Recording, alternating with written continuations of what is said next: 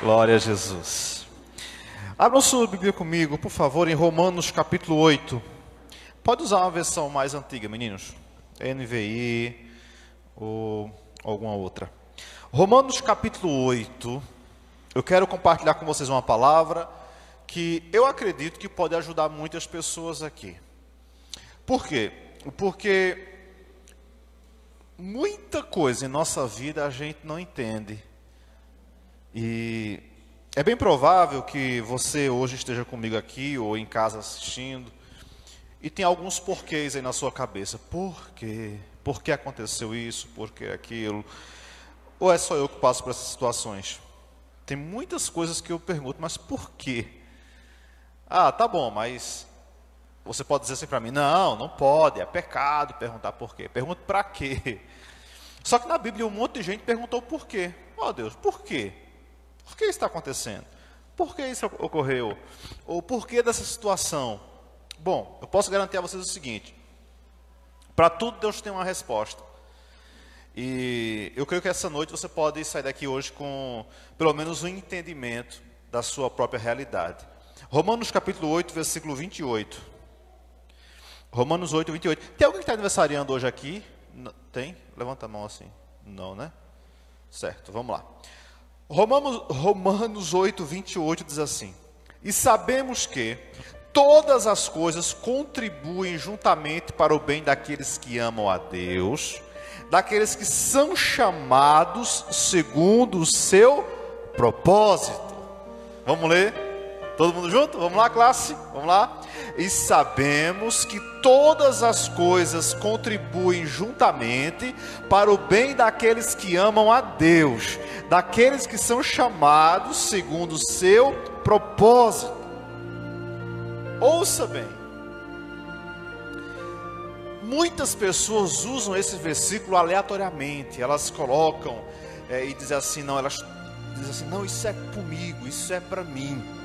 A primeira realidade que você aprenda é o seguinte: esse texto que é amplamente usado não é para todo mundo, certo? Você leu aí direitinho? Aqui diz que uh, uh, o que, que, as pessoas fazem? Elas usam o seguinte: ah, deu alguma coisa errada, ela fala assim, mas não, não, todas as coisas elas contribuem para o bem, né? Beleza, mas é para o bem de todo mundo? Não. Aqui diz que elas contribuem todas. Oh, vamos ler com calma o texto, vamos lá, volta lá. E sabemos que todas as coisas, quando a Bíblia fala toda, é todas, tá? Contribuem juntamente para o bem de todos? Não. Para o bem daqueles que amam a Deus. Você pode repetir comigo isso? Diga: daqueles que amam a Deus. Tem muita pessoa que quer usar esse texto para aplicar na sua vida, mas não tem compromisso com Deus. Não vai funcionar. Para quem não tem compromisso com Deus, as coisas contribuem para piorar. Porque a Bíblia fala que um abismo chama outro abismo. Agora, aqueles que têm compromisso com Deus, aqueles que amam a Deus, as coisas contribuem para o bem deles. Você fala, mas tudo bem, mas está difícil para mim hoje. Quando eu olho para a minha realidade hoje, eu fico perguntando, Deus, onde é que isso vai chegar? Quando é, onde é que isso vai parar? E eu queria compartilhar hoje com vocês uma seguinte frase para você entender. O tema da mensagem de hoje é basicamente o seguinte: depois você vai entender. Não é agora, não é o tempo ainda. Você vai entender depois. Ouça, tudo que está se passando na sua vida hoje você vai entender depois. E não é nem uma questão de fé, é uma questão de estatística. Porque muita coisa do passado que você não entendia, hoje você está entendendo. Ou não? Muitas situações que você passou há 10, há 20 anos atrás, hoje você olha, olha para trás e fala assim: rapaz, tá vendo? Agora eu estou entendendo por que isso aconteceu aquele não que você levou, aquela situação que você passou, aquela porta que, que, que insistiu em não, em não abrir, enfim. Então eu quero dizer a você o seguinte: depois você vai entender, e você pode profeticamente, com muito carinho, falar para quem está à sua direita ou à sua esquerda, diga assim: ó, depois você vai entender, relaxa, depois você vai entender. O que é que eu vou entender depois? Depois você vai entender, por exemplo, porque deu tudo errado.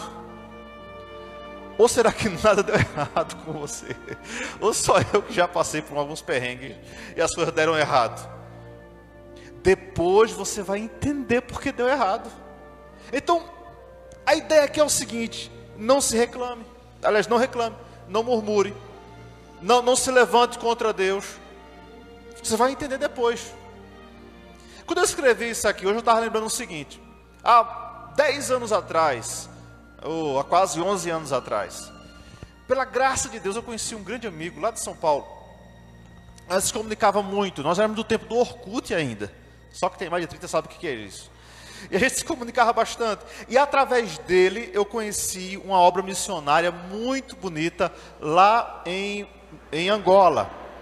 Feita através de uma grande mulher de Deus chamada Vera Lúcia Rissato. Uma mulher de Deus excepcional. Ela saiu do Brasil, fixou desde 97 lá em Angola e, e, e, realizou um trabalho tão bonito. Ela até hoje ela não casou porque ela decidiu se dedicar exclusivamente à obra de Deus. E é uma senhora já assim muito usada por Deus. E a partir daquele momento que a gente conheceu aquele trabalho lá em Angola, veio uma, um grande desejo de ir passar uns dias lá de conhecer de perto aquele trabalho e poder contribuir junto com eles e abençoar a vida deles ali e ser bênção para eles. Olha, a, a, coisa pegou de um jeito tão forte, porque desde cedo eu já sonhava muito com a África, eu já imaginava muito na África, eu tinha uma paixão muito grande pela África. E quando eu conheci Angola, então, eu pensei, eu comecei a, pesquisar sobre Angola, a estudar sobre Angola. A, a, facilitou porque o idioma é português, né? E a coisa foi, foi crescendo assim dentro. Eu comecei a preparar é, um projeto para ir para Angola. E sabe o que aconteceu desse projeto? Deu tudo errado. Não funcionou a minha liderança na época não, não autorizou, não percebi muito, muito envolvimento. E também as coisas não, abri, não fluíram, não andava, enganchou de um jeito que, pô, enfim, deu tudo errado. A única coisa que resta é só os materiais de divulgação daquela época. Daquela época. Mas deu tudo errado.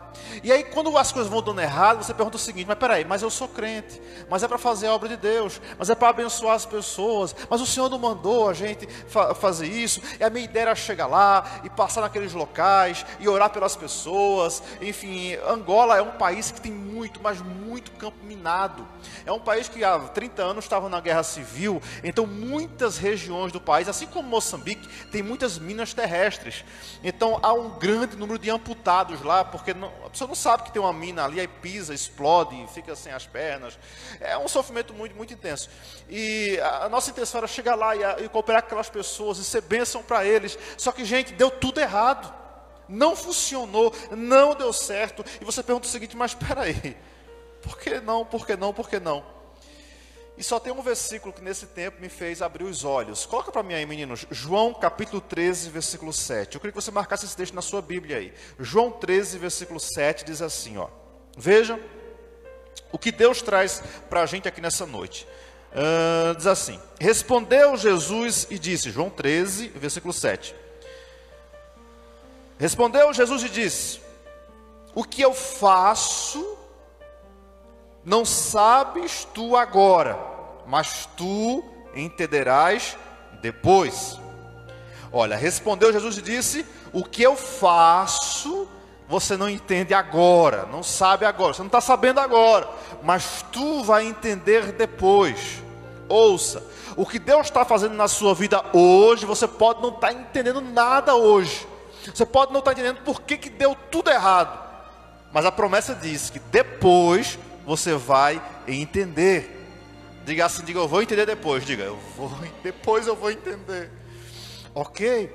Dez anos depois, nós conhecemos Moçambique e veio a possibilidade de assumir a frente de um trabalho lá em Moçambique. E vai fazer um ano que nós pisamos na África, entramos em Moçambique.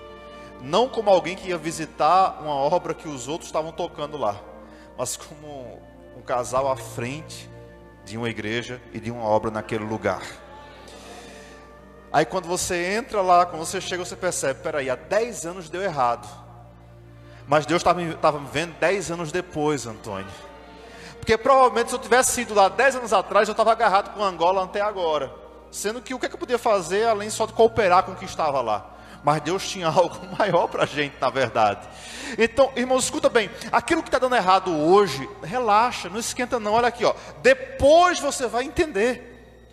Se você não consegue compreender hoje, também não murmura, não reclama, não, não fica estressado, não, sabe? Porque Deus está te vendo 10 anos na frente, Deus está vendo você 20 anos lá na frente. O não que você recebe hoje, ou as situações que acontecem hoje com a sua vida, é Deus preparando o caminho, o terreno, para o que vem pela frente. Você leu?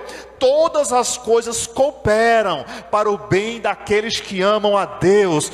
Todas as coisas, todas as coisas cooperam trabalham, contribuem para o bem daqueles que amam a Deus. Se você crê nisso, diz um amém aí, por favor. Então, mesmo que você não esteja entendendo agora, então pelo menos descansa e confia no Senhor. É chato? É. É ruim? Ah, quem gosta de esperar, irmão? Você compra um celular hoje novo, daqui a um ano aparece um outro lançamento com um processador mais rápido, o seu, tá, está passando dois segundos para abrir a tela, você fica estressado, nervoso, quer um mais rápido. Aí você vai lá, troca para outro mais rápido, que abre com um segundo a tela, porque você não quer esperar dois segundos para abrir a tela do seu celular. Por quê? Porque você quer tudo mais rápido. Você quer tudo no seu... Mas não, não é no seu tempo, é no tempo de Deus. Então saiba, o que Deus está fazendo hoje, você mesmo não entendendo, calma, lá na frente você vai entender. No tempo de Deus você vai entender, meu irmão, em nome de Jesus. Quando eu converti, um mês depois, eu tomei conhecimento de algo assim que me deixou assim assombrado. Eu estava lembrando isso essa semana. A igreja era muito pequenininha, tinha uns 20 crentes. Dia de festa tinha 25 crentes. Muito pequena. E mas era uma igreja muito séria, né? E o que aconteceu? É uma igreja grande a nível mundial. E o que acontece? É, eu fiquei sabendo que um mês antes de eu converter, veio para Surubim uma bolsa de estudos. Olha que proposta maravilhosa. É, é, a pessoa ia para Minas Gerais, passava cinco anos interno no seminário, estudando durante cinco anos, é, recebendo para isso Pessoal, além de ter todas as despesas pagas, você ainda receber, receberia uma ajuda de custo durante esse período. Você sairia de lá prontinho, né, já formado, é, reconhecido, um seminário extremamente respeitado no mundo inteiro. Pastor, pronto, cinco anos depois. E aí eu pensei, aí o que aconteceu? Veio a bolsa aqui para Surubim e não tinha ninguém para ir. O pastor chamou um e falou assim: Rapaz, eu casei faz pouco tempo, dá para mim não. Foi para outro, outro fez, não, para mim também não dá não, porque eu, sou, eu gosto de ficar para Surubim mesmo. Resultado, não apareceu ninguém para ir. E quando eu fiquei sabendo, eu disse, meu Deus, mas por que, que uma oportunidade dessa não aparece para mim? E eu passei uns dias assim pensando, mas, ô pastor, não será que não tem outra vaguinha lá não? Ajeita lá. Se aparecer eu vou. Né? Não, meu filho, tem mais não. E eu fiquei aperreando o pastor um tempão. Não, não teve mais bolsa nenhuma para Surubim.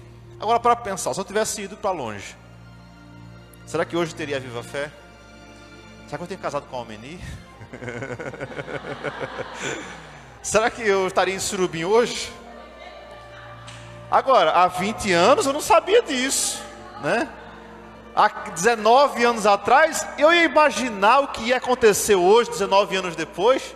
Então, aquilo que não deu certo no passado, ou não está dando certo hoje, é porque Deus está te vendo lá na frente, fica tranquilo. Deus tem um propósito com todas as coisas. Diga amém por isso. Sabe qual é a segunda coisa que você só vai entender depois? Depois você vai entender por que, que a porta fechou para você. Alguma porta fechou para você? Porta de trabalho ou de qualquer outra área? Não deu certo? Fechou a porta, está fechada para você? É ruim. Você pergunta, mas por que eu? Por que isso está acontecendo comigo? Tem 30 pessoas na empresa, por que eu que fui demitido? Sei lá, muitas pessoas tentaram, por que, que eu deu errado? Por que, que a porta fechou? Escuta. João 13, 7. O que eu faço agora você não vai entender. Depois você vai entender. Quando o povo saiu de, de, do Egito, diante dele estava o mar, porta fechada. Não tinha como transpor aquela porta humanamente falando. O povo ficou apavorado, não foi? Mas aquela porta fechada serviu para Deus fazer um dos maiores milagres que o mundo já viu. Aquela porta fechada foi, foi o elemento que Deus precisava para realizar um grande milagre e o nome dele ser glorificado. Toda vez que eu ouço falar em portas fechadas, portas que se fecharam, eu consigo entender duas coisas: ou o milagre vai ser muito grande, ou Deus vai abrir uma outra porta. A porta, a, a, fechou alguma porta para você, ouça, ou vai acontecer um milagre muito grande, para Deus abrir essa porta novamente, ou outra porta vai ser aberta, ainda muito melhor para abençoar a sua vida, de um jeito ou de outro, você será abençoado. Por quê? Porque todas as coisas contribuem para o bem daqueles que amam a Deus. Porta fechada não é problema para Deus, é problema para a gente, para Deus não é. Agora, se ele fechou, nem tente abrir que não vai abrir. E se ele resolver abrir, é para que o nome dele, que o nome dele seja glorificado na terra. O povo, Deus abriu o mar, o povo passou. Aí vem a primeira cidade o povo conquistar. O nome da cidade era Jericó. O que acontece? Portas fechadas de novo. E muito fechadas. E além das portas estarem muito fechadas, as muralhas eram intransponíveis. Mais uma vez, portas fechadas. E o povo pensou: como que nós vamos entrar nessa terra se na primeira cidade as portas estão fechadas? Gente, porta fechada não é problema para Deus. Repito, ou o milagre vai ser muito grande, ou ele vai abrir uma outra porta. Das duas, uma das coisas vai acontecer com você. Naquela ocasião, Deus não só abriu a porta, Deus derrubou a muralha inteira para o povo dele passar. Escuta, o seu Deus é muito poderoso. Hoje você não está entendendo, mas calma, depois você vai entender porque aquela porta fechou. Entende? Há uns 20 anos atrás, eu andava muito aqui por essa, essa região, às vezes à noite e tal, depois do culto, ia para casa dos irmãos comer cachorro quente, para aperrear os outros. E eu, eu sempre ficava por aqui, nessa região aqui. E sempre que eu ia para casa dos irmãos ali, é, tem uma rua que hoje está calçando, que a irmã, acho que é Viviane, mora naquela rua, e é bem estreitinho, né? A rua, quem ainda aqui conhece. E eu sempre passava naquela rua, nove horas, nove e meia, não era muito tarde da noite. E por incrível que pareça, um dia eu ia passando naquela rua, e quando eu entro na rua, a rua está fechada. Rapaz, que chato isso, vou ter que dar a volta toda. Aí eu saí, tive que vir por outra rua aqui na parte de cima, já. Quando eu chego já na pista, que eu olho para a rua que eu ia sair, tinha pessoas encapuzadas lá naquela rua, na entrada da rua. Provavelmente seria um assalto aquilo ali. Eu não entendi quando eu vi que a rua estava fechada. Depois eu entendi. Se a porta fechou para você hoje, relaxa, depois você vai entender. Ah, por que foi que o pneu do carro estourou naquele momento? Depois você entende, calma. Ou melhor, às vezes Deus nem. Tem coisas que Deus nem mostra a gente para a gente não ficar tão, tão estressado ou tão triste ainda. De uma coisa certa, se sua vida está na mão de Deus, Ele está cuidando de tudo. Porta fechada não é problema para o seu Deus. Portas fechadas, ou ele o milagre vai ser muito grande, ou ele vai abrir uma outra porta. Mas desamparado você não fica. Receba isso, você não vai ficar desamparado. Amém? Terceiro, depois você vai entender, sabe o que? Depois você, aliás, esse depois é daqui a pouco mesmo. Você vai entender por que você passa por tantas tribulações. Alguém já se perguntou isso? Oh Deus, o que foi que eu vim merecer isso? É luta em cima de luta, é prova em cima de prova. Oh Deus, sabe? Uma coisa dá errado, outra coisa eh, piora, e a coisa não funciona. Eh, quando eu penso que vai dar tudo certo agora, dá errado de novo. Por que tanta provação, Jesus? Sabe? É, falta energia, daqui a pouco seca o bujão do gás também, daqui a pouco vai dando errado as coisas, é uma sequência de erros. Você fala assim, Deus, por que tanta tribulação que eu estou passando? Está preparado para a resposta? Está na Bíblia. Vamos lá, vamos para a Bíblia. Romanos capítulo 5 Versículo 3. Olha o que diz aqui, ó. Olha o que Deus está fazendo. A resposta agora hoje para você é bem rápida. Romanos 5,3 diz assim, ó. E não somente isso, mas também nos gloriamos nas tribulações. Ó, não é nas festas, é nas tribulações. Sabendo que a tribulação produz a paciência. Ouça, toda vez que você andar atribulado, é Deus produzindo em você paciência. Só que aqui tem uma escadinha, tá? A paciência, vai para o 4, olha o que a paciência faz. Versículo 4 diz que a paciência produz experiência. E a experiência, a esperança. Olha onde Deus quer chegar. A tribulação tem um propósito: primeiro, produzir paciência, depois, experiência e depois, esperança. Vamos comigo, classe, vamos lá? Paciência, pac... É, vamos lá, paciência, experiência e esperança. Olha que elementos fundamentais que nós precisamos. Agora, sabe o que, é que gera isso em nossa vida? Tribulação. Porque o que gera bom marinheiro é mar revolto, Fabiano. Mar calmo, não. Motorista bom não se, não, não, não é, é, se aprende em carro automático. Qualquer um dirige carro automático. O motorista bom é aquele que para na ladeira e o professor fala assim: Bom, agora sai daí. Ah, como que eu vou sair daqui? Ai, põe um pé aí no, na embreagem, no freio, dá um jeito, sai da rampa. Ou seja, são as tribulações, as dificuldades que vão gerar em você paciência. Com muita sinceridade, com carinho. Alguém aqui já sentiu que depois se converteu, anda mais paciente? Diz amém. Você já passou por isso já? Já não tinha paciência, mas estou tão paciente agora. Pastor, já liguei muito, eu nem ligo mais. Gente, quando eu recebi um insulto, por exemplo, subia pelas paredes, né? Fazia mal o barraco. Hoje já nem o povo insulta, nem liga. Olha que coisa linda. A tribulação gerou paciência, produziu paciência. Bastava o marido fazer cara feia, a irmã já queria morrer. Mas o que acontece? De tanta cara feia, produziu nela o quê? Paciência. E hoje ela fala, pode estourar, estou nem aí. Porque ela está paciente. E a paciência gerou o que nela? Experiência. Ela hoje fala para nova e diz assim, para que casou recentemente, fala assim: calma, mulher, vai passar. Por quê? Porque a paciência gerou experiência. Ela passou, ela passou a ter experiência, né? E a experiência fez ela o quê? Ter esperança. Um dia ele vai mudar. Em nome de Jesus. É basicamente isso. Veja que Deus trabalha em cadeia, gente. Ó, é um processo. Gente, transformação não vem assim no estralado de dedos. Deus vai produzindo na gente, certo? Deus produz. E para produzir, né? Demora, leva tempo. Então vê, se você passou no teste da paciência, aí você vai adquirir experiência. Tem um monte de gente aqui que já está experiente, já com muitas tribulações. Tem uma irmã nossa, por exemplo, que ela não, ela não é daqui, ela, ela mora fora, que desde que eu conheço ela, ela frequenta toda semana os hospitais. É o filho doente, é ela doente, é os parentes doentes. Ela tem uma facilidade de lidar com o hospital. Ela já conhece todo mundo nos hospitais de Recife. Então hoje, para ela, não é, é a coisa mais simples do mundo. Ela já conhece todo mundo lá, ela já se dá bem com todo mundo.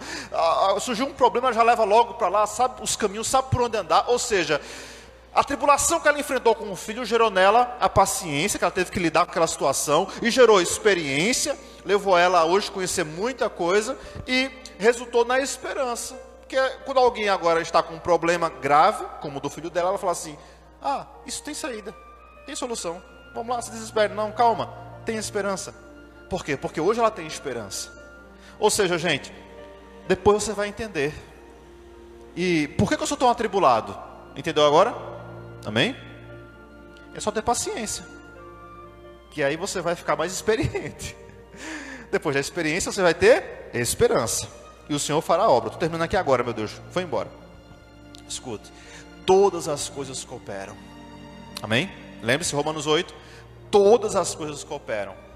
Eu acompanho essa semana um testemunho que não é novo, ele é muito antigo, ele tem uns 10 anos. Mas que me marcou muito, porque eu, eu, eu encontrei é, a entrevista dessa irmã. O nome dela é Ellen Berrani. Ellen Berrani. Eu vou colocar no grupo da igreja lá o testemunho, a história dela completa, que é muito marcante. Ouça bem, essa irmã nasceu na Eritreia. Eritreia. É um país que fica colado com, com é, o Sudão. Deixa eu filar aqui, né? É um país da África, né, que fica colado, faz divisa com o Sudão e com a Etiópia. A Esteia, até hoje, é o grande perseguidor de cristãos.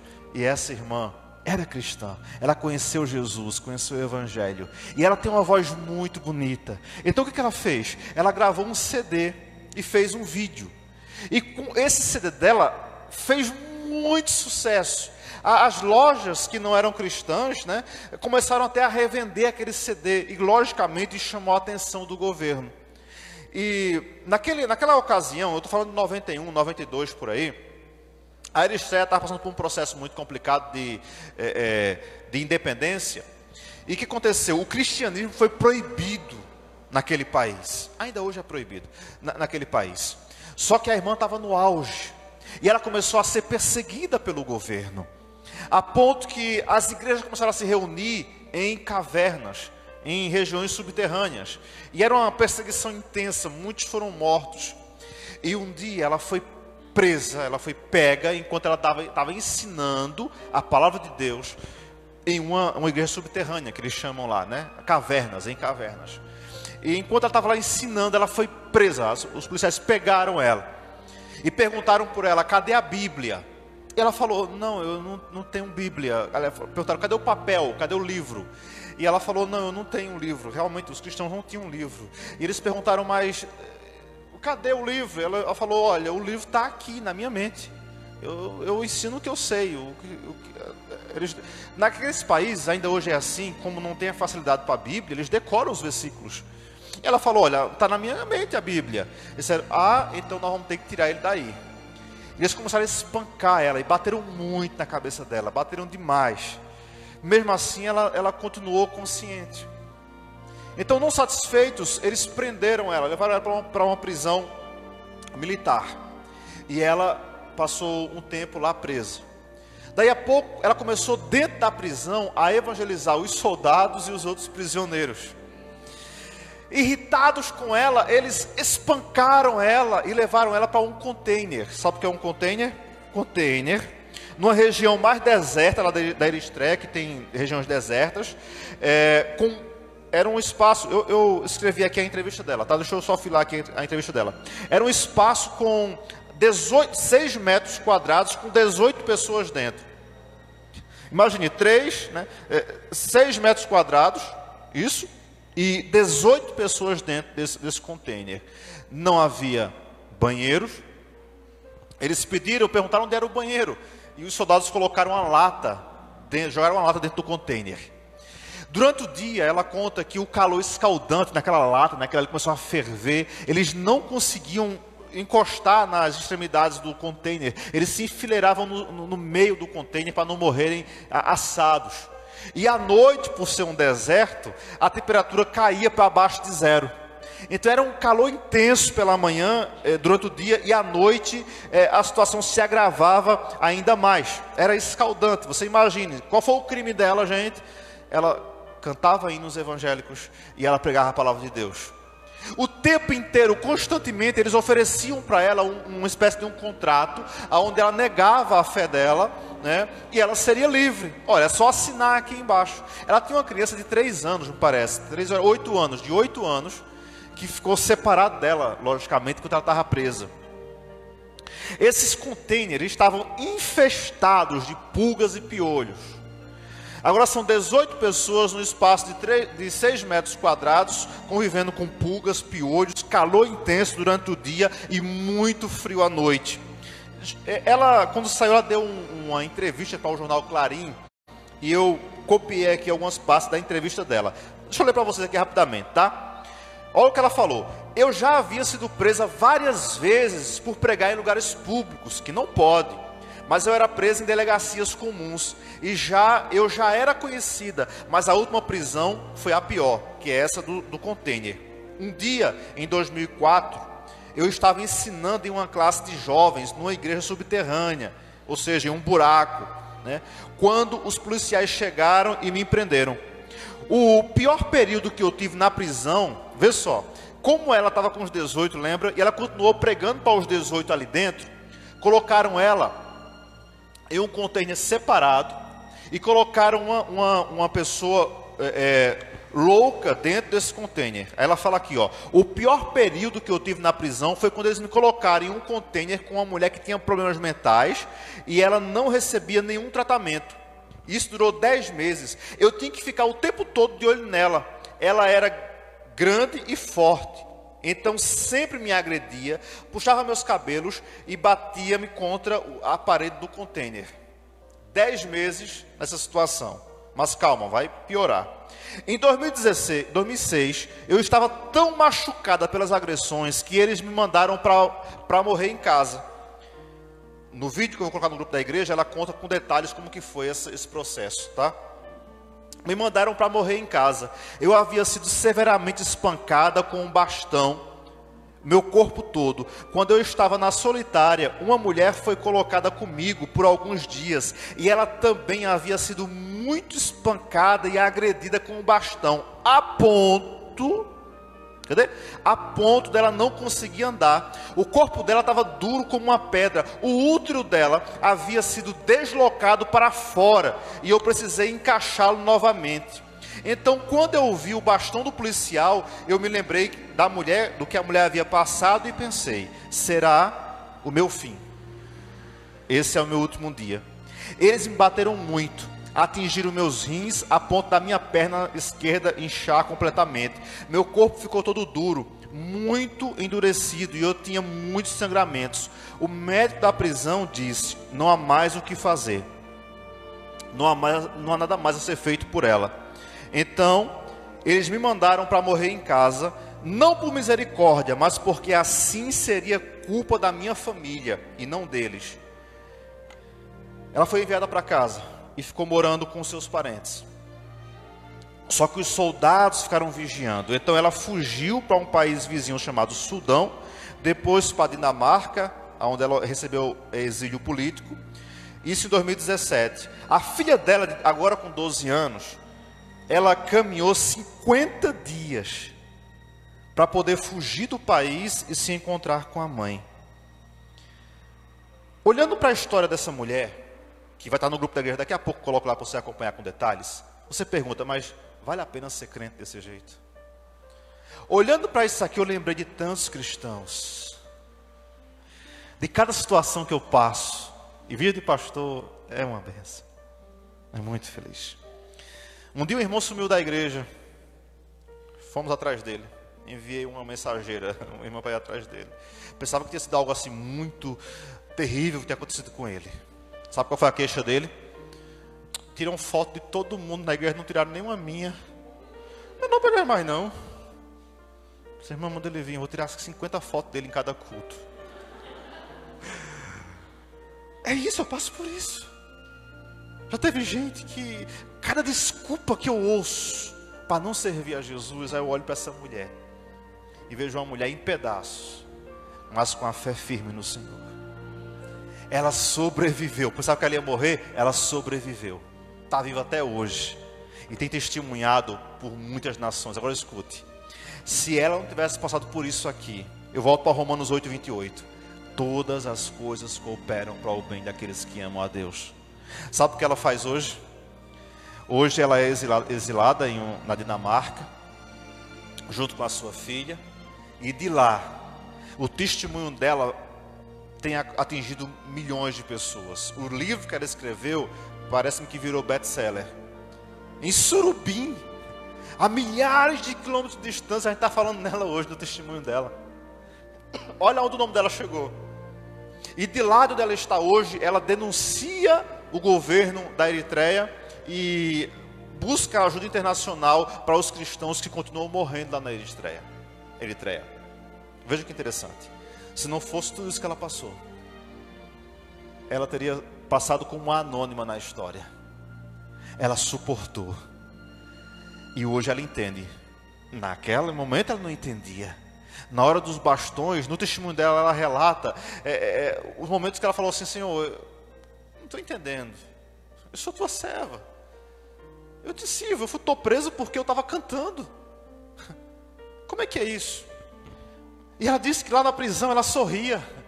Ela tiraram ela do container porque ela estava evangelizando, espancaram ela. por é, é, é, vingança, deixaram ela amarrada o dia inteiro no sol. Aí no final da noite jogaram ela de volta dentro do container. E ela disse que ela começou a sorrir lá dentro. E o pessoal dizia, você está louca.